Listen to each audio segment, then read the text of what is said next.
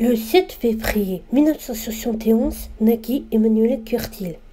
Son père est ostéopathe et sa mère agent artistique. Cette dernière encourage le petit garçon à monter sur scène et jouera dans le téléfilm L'oiseau bleu de, ah oui, de Maurice Maeterlinck.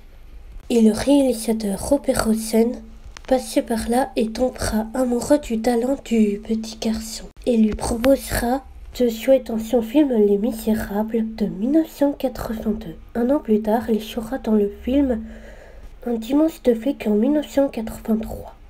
En 1985, il jouera dans Les colonnes du ciel. Il n'est pas trop mignon comme ça Un jour, il rencontra Barbara Tissi. Un an de moins que lui, il conseillera de faire du doublage. Mais il sera dans d'autres films, comme dans la série Paparov de 1990, Les femmes de 1985. Et il doublera un lycéen dans la série Se fait par le conque. En 1995, il doublera pour la toute première fois Jim Carrey dans le film Ce Masque. Et la même année, Simba dans Le Roi Lion.